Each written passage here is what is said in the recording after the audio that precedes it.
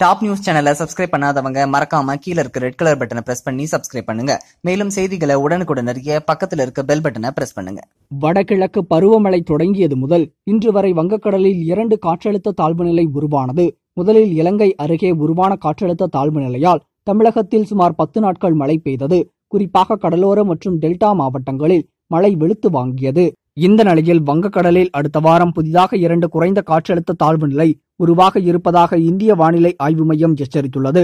வடகிழக்கு பருவமழை சராசரியை விட குறைந்த அளவே பெய்ததால் கலக்கமடைந்த மக்களுக்கு இந்த தகவல் மகிழ்ச்சி அளித்துள்ளது.